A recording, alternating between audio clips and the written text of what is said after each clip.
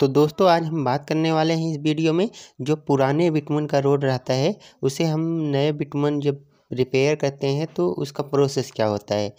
तो सबसे पहले जो हमारा पुराना बिटमन रहता है, उसे जीसीबी के द्वारा उखाड़ दिया जाता है और एक प्लेन में लाने की कोशिश रहती है।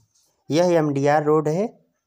अगर आप सिविल इंजीनियर होंगे तो ज़रूर आपको पता होगा एमडीआर रोड क्या होता है। मेजर डिस्ट्रिक्ट रोड, जो एक डिस्ट्रिक्ट से दूसरे डिस्ट्रिक्ट को जोड़ती है।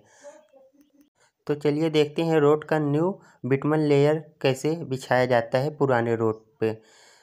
तो जितने बिटमन का लेयर रहता है पुराना वाला डेप्थ में, उतने डेप्थ को हम जीसीबी के द्वारा उखाड़ देते हैं। जैसा कि ये आप लोग देख सकते हैं, जीसीबी से उतनी गहराई के अंदर जो पुराना रोड रहता है बिटमन को उसे उखाड़ रहे हैं।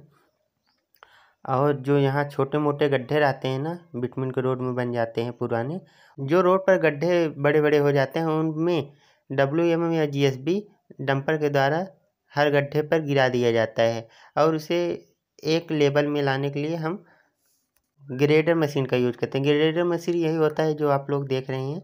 यही हमारा ग्रेडर मशीन होता है। ग्रेडर के द्वारा जो सड़क की चौड़ाई होती है, उसको एक लेवल में तैयार कर देते हैं। और गड्ढे में जो जीएसबी या डब्ल्यू एम गिराए हैं, उसे एक लेवल में ला देते हैं और सड़क पट्टी भी इसी के द्वारा तैयार करते हैं। रोड पर ग्रेडर चल जाने के बाद उस जीएसबी या डब्ल्यू एम पर रोलिंग भी कहते हैं।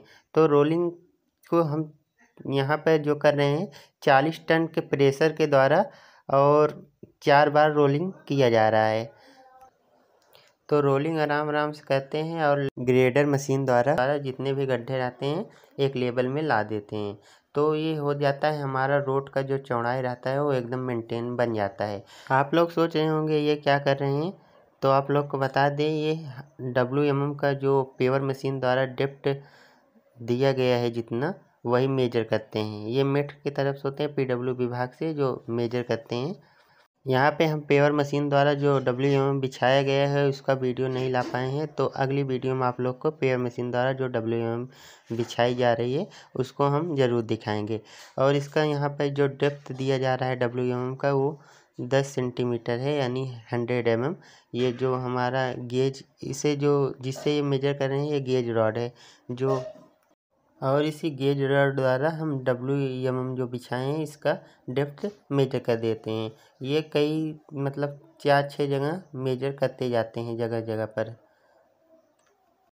इसके बाद जब ये डब्ल्यू एम बिछा देते हैं, इस पर भी अच्छे से रोलिंग कर देते हैं और हमारा रोड जो होता है एकदम अच्छे से दिखने लगता है। यहाँ पर हमारे दोस्त जो साथी हैं, वो रोलिंग करने के बाद यहाँ पर गड्ढे कर रहे हैं, जो थोड़ी परेशानी हो रही है, क्योंकि ये पक्का हो जाता है कुछ समय बाद, क्योंकि इसमें कुछ मात्रा में सीमेंट भी मिला रहता है डब्ल्यू एम एम जो होता है।